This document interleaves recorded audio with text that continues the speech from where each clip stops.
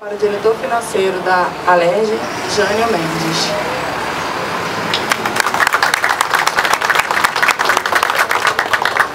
Bom dia a todos e a todas.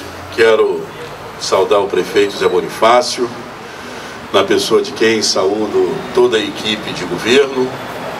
Saudar o querido amigo Bebeto Cardoso, ex-presidente do Ibascaf. Saudar Jefferson do Intrago, atual presidente, igualmente querido amigo, atual presidente do. Dizer da importância desse momento que estamos vivenciando é, aqui na cidade de Cabo Frio.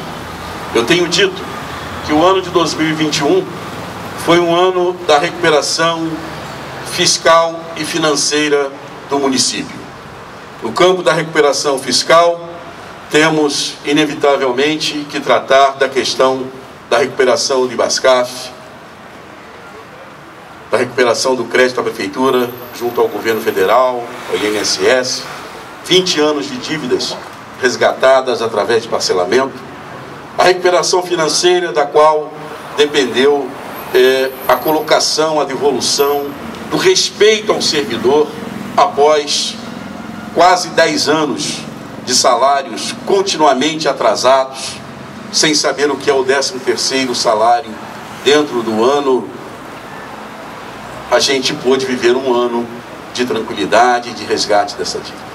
E que o ano de 2022 é o ano do início da reconstrução da cidade. Então, o prefeito Zé Bonifácio está de parabéns por aquilo que realiza.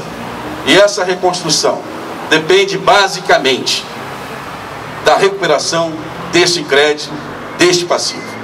Vamos juntos nos irmanar cada vez mais para que de forma harmoniosa possamos permitir a Cabo Frio, daqui em diante, um tempo de reconstrução. Esse tempo chegou. Parabéns, Zé Bonifácio.